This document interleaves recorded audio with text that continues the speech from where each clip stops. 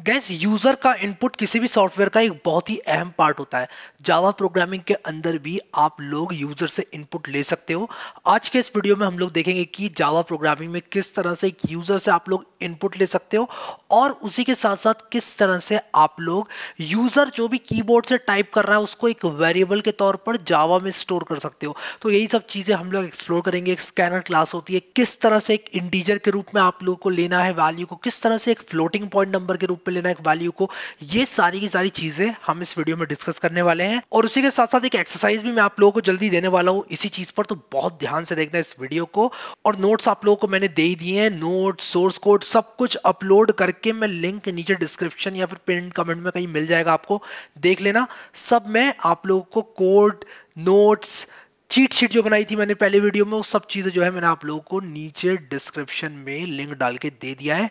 चलिए वीडियो को स्टार्ट करते हैं। तो गाइज़ ये रहा हमारा इंटेलिजे आइडिया मैं यहाँ पर क्या करूँगा? एक नई फ़ाइल बना लूँगा सबसे पहले। और मैं यहाँ पर जैसे नेमिंग कन्वेंशन पिछले वीडियो में रखा था कि C W H zero four literals dot Java यहाँ पर मैं जल्दी से एक नई फ़ाइल बना लेता हूँ, जिसका नाम मैं रख लेने वाला हूँ। Zero five sorry C W H underscore zero five underscore taking input और डॉट जावा ऑटोमेटिकली बन जाएगा। फिर इसके बाद मैं यहाँ पर शिफ्ट एंटर दबाऊँगा, नई लाइन पे मैं आ जाऊँगा और मैं यहाँ पर मेन लिखूँगा, मेरा मेन मेथड भी आ जाएगा। और मैं उसके बाद यहाँ पर S O U T sout लिखूँगा। तो system dot out dot print L लिखने के बजाय आप यहाँ पर साउट लिख सकते हो। ये एक शॉर्टकट है। आपको पूरा लिखने की ज़रूरत नहीं है कि भाई बार बार आप लिख रहे हो सिस्टम डॉट आउट ये लिख के एंटर मारोगे, पूरा आपका आ जाएगा यहाँ पर। और मैं यहाँ पर लिख दूँगा एक डबल कोड स्टार्ट करके इट वर्क्स ठीक है? और ये करने के बाद राइट क्लिक आपको करना है और रन करना है। राइट क्लिक करके ही रन करना पहली बार, ये मत दबाना। उसके बाद एक बार आपने रन कर लिया तो आप ये दबा सकते हो, ठीक है? तो इट वर्क्स देखो यहाँ पर प्रिंट हो गया, आ गया है। अब नोट्स में चलते हैं जो कि मैंने आप लोगों के लिए बनाए हैं। और जल्दी से हम लोग यहाँ पर सीधा आ जाते हैं reading data from the keyboard वाले पार्ट पर।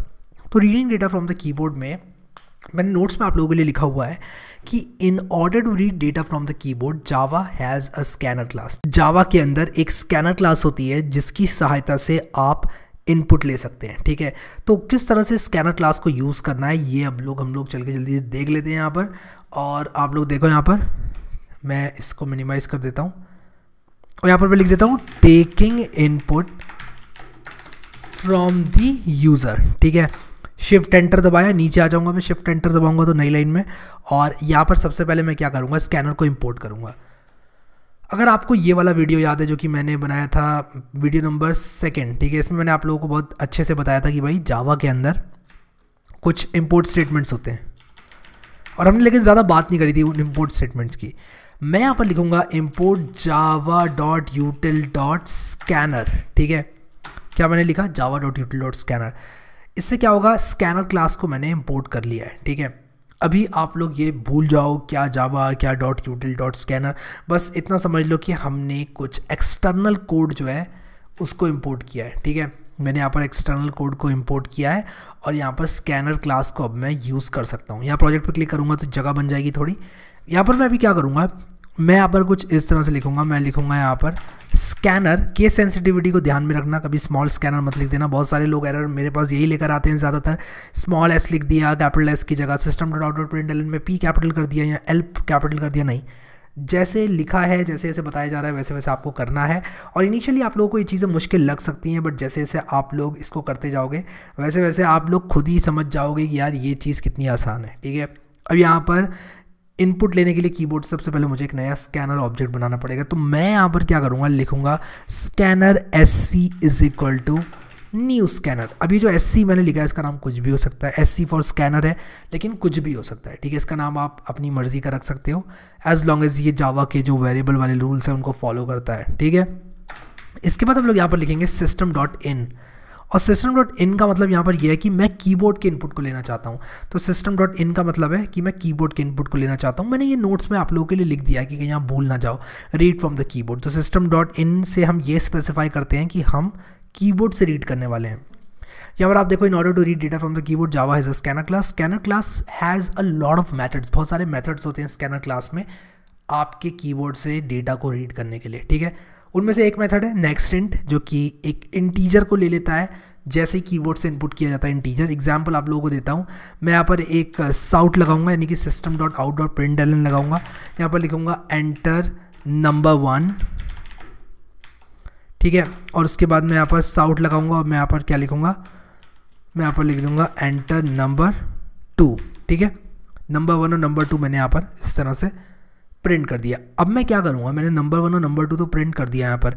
मैं अब यहाँ पर कहूँगा int A is equal to और मैं यहाँ पर लिखूँगा S C S C dot और नेक्स्ट इंट ठीक है? अब वो नेक्स्ट बाइट हो सकता है। अगर मैं इंटीजर लेना चाहता हूँ नेक्स्ट इंट मैं इस्तेमाल करूँगा। यहाँ पर जो ये मेथड मुझे मिला हुआ है। देखो, और भी बहुत सारे मेथड्स हैं इसके अंदर, लेकिन मैं नेक्स्ट इंट का भी इस्तेमाल करूँगा।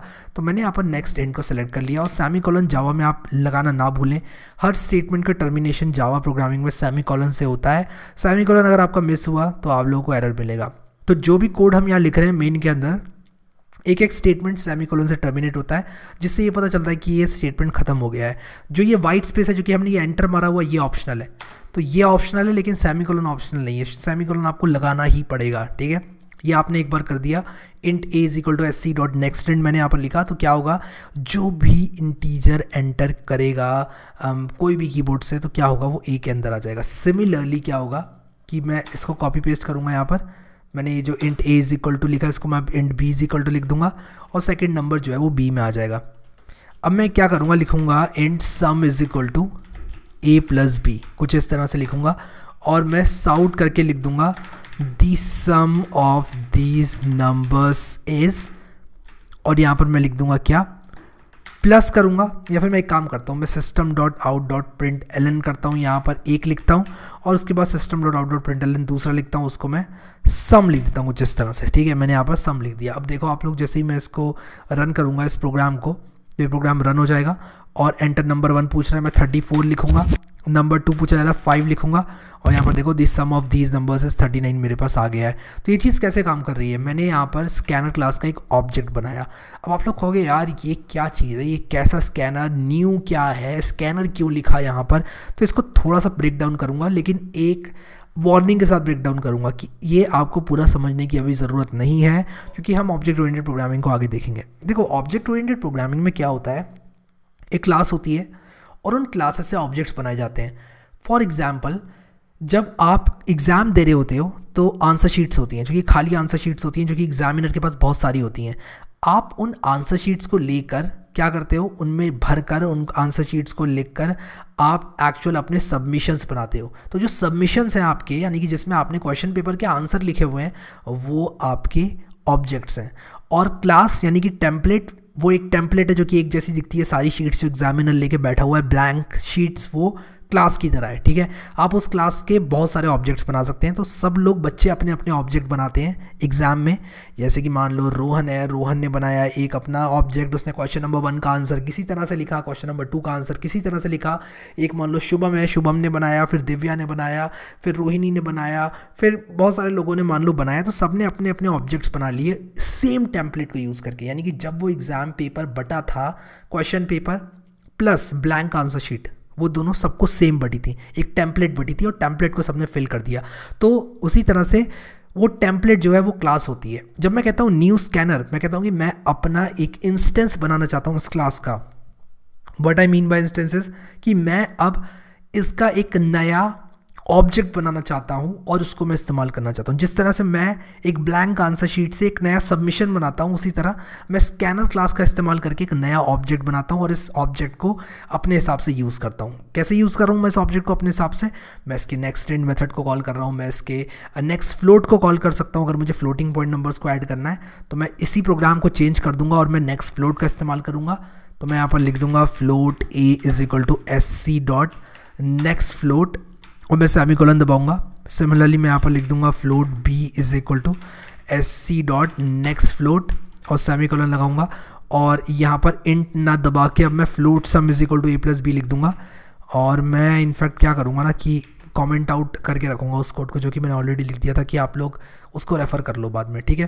अब इसको रन करूँगा तो मैं अब डेसिमल पॉइंट वाले नंबर भी दे सकता हूँ। जूम करके दिखाता हूँ आप लोगों को। 34.7 में मैं 0.3 ऐड करूँगा। तो आप लोग देखो 35.0 आ गया है। तो मैं फ्लोट भी यहाँ पर ऐड कर सकता हूँ। तो जो स्कैनर क्लास है हमारी, उसके अंदर बहुत सारे मेथड्स हैं। एस सी डॉट आप करोगे तो ये देखो बहुत सारे मेथड्स ये मुझे सजेस्ट कर रहा है, कह रहा है कि कौन सा इस्तेमाल आप करना चाहते हो। एक मेथड हम लोग और देखेंगे। अब एक बात आपको बताना चाहता हूँ मैं। वो ये है कि आपको सारे मेथड्स रटने नहीं है सबसे पहले, ठीक है? रटने नहीं है सारे methods most of the time आप नेक्स्ट एंड नेक्स्ट फ्लोट यही यूज़ करोगे नेक्स्ट बाइट लेकिन एक और मेथड मैं आपको बताता हूँ जो कि आप यूज़ करोगे. और वो ये होगा कि मैं यहाँ पर क्या करूँगा? मैं यहाँ पर प्रिंट करूँगा कि एक नंबर आया है इनपुट में. यानी कि मैं साउट यहाँ पर लिखता हूँ. मैं ये देखूँगा कि जो यूज़र ने इनपुट किया है उसमें एक नंबर आया है या नहीं आया है. तो मैं लिखूँगा S C dot has next int ठीक है? और मैं has next int method call करूँगा। और इसको मैं एक काम करता हूँ, इसको एक बूल वेरिएबल में मैं स्टोर कर देता हूँ। मान लो मैं उसका नाम बी वन रखता हूँ। मैं यहाँ पर लिखूँगा बूलियन बी वन और इज़ इक्वल टू और मैं लिखूँगा S C dot has next int ठीक है? और मैं एक काम करता हूँ इसको मैं कमेंट आउट कर देता हूँ। मैं बस ये देखना चाह रहा हूँ अभी यहाँ पर कि इसमें नेक्स्ट एंट है या नहीं है, यानी कि जो नंबर यूज़र एंटर करने वाला है, वो इंटीजर है या नहीं है। मैंने नीचे जो कोड था, वो सारा कमेंट आउट कर दिया है। आप अपने हिसाब से उसको अनकमेंट कर लेना। अभी मैं यहाँ पर ये जो नंबर वन नंबर टू है, ये सारे जितने भी स्टेटमेंट्स हैं, इनको मैंने कमेंट आउट कर दिया। और मैं इसको ना नीचे ले जाता हूँ, एकदम नीचे, ठीक है? और यहाँ पर मैं इसको कंट्रोल एक्स करूँगा और एकदम नीचे ले जाऊँगा। और ऊपर का कोड मैंने सारा कमेंट आउट कर दिया। आपको चलाना हो अगर तो मैं दे दूँगा कोड सारा आपको। आप चला लेना, ठीक है? लेकिन मैं अभी सिर्फ़ ये दो लाइंस एग्जीक्यूट कर रहा हूँ। ये मैंने कमेंट आउट कर दिए हैं। कमेंट्स का मतलब क्या होता है? कमेंट्स का मतलब कि ये चीज़ इग्नोर करी जाएगी जावा कंपाइलर द्वारा। जावा इसको बिल्कुल भी देखेगा नहीं इग्नोर कर देगा, ठीक है? जावा के लिए ये एग्जिस्ट ही नहीं करता है। जावा यहाँ से सीधे इस लाइन को प्रोसेस करेगा, ठीक है? मैंने बुलियन बी वन बनाकर उसको बोला है कि वो S C is equal to has next int के बराबर है। तो B one is equal to S C dot has next int लिख दिया है, फिर इसको प्रिंट किया है। चलो इसको रन करके देखते हैं एक बार। तो taking input from the user मैंने यहाँ पर क्या किया है कि मैं यहाँ पर 45 लिख रहा हूँ और मैंने एंटर मारा। तो देखो यहाँ पर ये ट्रू आ रहा है कि हाँ भाई 45 एक इंट है। वापस से अगर मैं इसी प्रोग्राम को रन करूँ और मैं 45 point thirty five point six four three ऐसे कर दूँ तो नहीं यार, ये तो इंटीजर लिटरल नहीं है तो ये मना कर रहा है, ठीक है? एट द सेम टाइम अगर मैंने यहाँ पर कुछ स्ट्रिंग डाल दी, कुछ ऐसे लिख दिया तो ये भी फॉल्स है। तो इसका इस्तेमाल कहाँ किया जाता है? इसका इस्तेमाल तब किया जाता है जब आप किसी भी एक्सप्रेशन की वैलिडिटी को चेक करना चाहते हो। आप ये चीज़ इंश्योर करना चाहते हो कि यार आपके प्रोग्राम में एरर ना आए। यूज़र कुछ भी एंटर कर रहा है तो वो क्या वैलिड इंट है या नहीं है? यानी कि यूज़र ने जो एंटर किया है, क्या उसके अंदर एक नेक्स्ट इंट है या फिर नहीं है? ठीक है?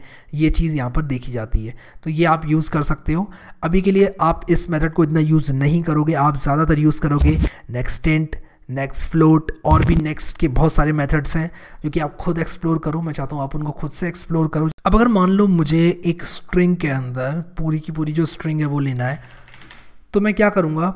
यहाँ पर मैं लिखूँगा कैपिटल एस से स्ट्रिंग मैंने आप लोगों को बताया था कि जावा में स्ट्रिंग का स्पेशल सपोर्ट होता है। आप string S T R is equal to कुछ इस तरह लिखो एस सी डॉट नेक्स्ट अगर आप सिर्फ़ नेक्स्ट लिख दो और उसके बाद साउट कर दो आप एस टी आर को, और मैं ऊपर वाले ये जो मैंने लिखे हुए हैं, इनको मैं कमेंट आउट कर देता हूँ।